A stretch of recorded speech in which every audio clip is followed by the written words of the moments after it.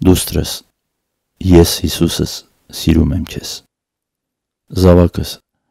իմ սուրբ սիրտը շարունակ տխրում է նայելով ձեր ազգին։ Դուք նմանվում եք Իսրայելին,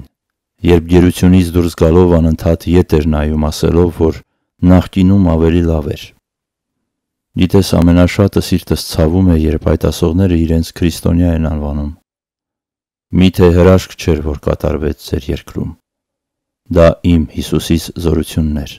որ լսեցի ձեր ազգից եկող շարունակ թախանձագին աղաղակները, բայց հիմա ձեր ազգը հեթանոսի պես է պահում իրեն։ Շարունակ տրտնջալով, թե ոչինչը չի փոփոխվում։ Փոփոխությունը ձեր սրտերում պետք է լինի, ձեր ընտանիքներում։ Սթափվեք զավակներս, դուրս մի նայեք։ Ամեն մեկը թող իր մեջ նայի։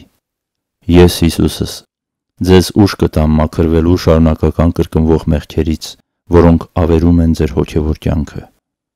Ախր չեմ ցանկանում ձեր կորուստը։ Միթե քիչ էր խաչելության տանջանքները։ Հիմա ինչու եք տանջում ինձ ձեր մեղքերով։ Չէ որ չկա մեկը, որ ձեզ սիրի ինձ նման։